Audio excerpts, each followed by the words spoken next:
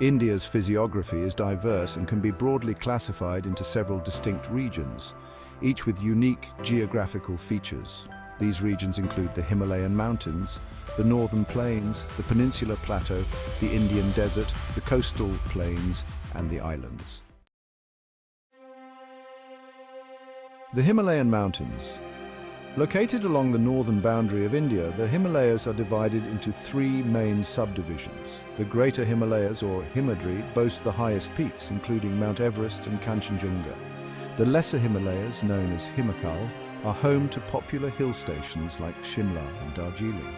The Outer Himalayas, or Shivaliks, consist of the foothills with valleys such as Dehradun.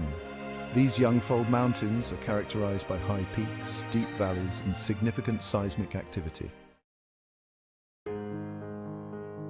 The northern plains, situated south of the Himalayas, these plains stretch from the Indus River in the west to the Brahmaputra River in the east. They were formed by the alluvial deposits of the Indus, Ganges and Brahmaputra rivers.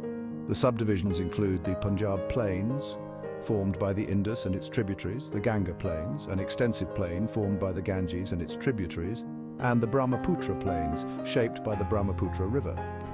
These plains are known for their fertile soil, extensive agriculture and dense population. The Peninsular Plateau, located in central and southern India, this ancient landmass was formed by the breakup of the Gondwana land.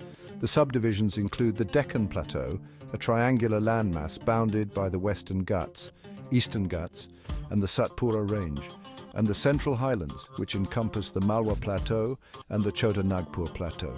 This region is rich in minerals, older than the Himalayas, and features varied topography, including hills, valleys and plateaus.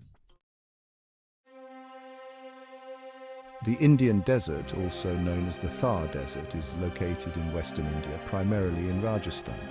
This region is characterized by its sandy terrain, extreme temperatures, sparse vegetation and shifting dunes. The Luni River is the only major river in this arid region. Next we have the coastal plains, stretching along the eastern and western coasts of India. The western coastal plains are a narrow strip along the Arabian Sea, divided into the Konkan coast, Karnataka coast and Malabar coast. On the other hand, the eastern coastal plains are broader and lie along the Bay of Bengal, divided into the northern Sircars and the Coromandel coast. These plains feature fertile deltas, such as the Ganges-Brahmaputra Delta, as well as lagoons and estuaries. Moving on to the islands, we have the Andaman and Nicobar Islands located in the Bay of Bengal and the Lakshadweep Islands in the Arabian Sea. The Andaman and Nicobar Islands are of volcanic origin and are known for their rich biodiversity and dense forests.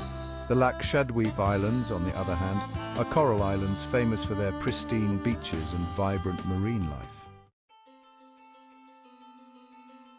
The importance of these physiographic regions cannot be overstated. Each region supports different economic activities such as agriculture in the northern plains, mining in the peninsular plateau, and tourism in the coastal and island regions.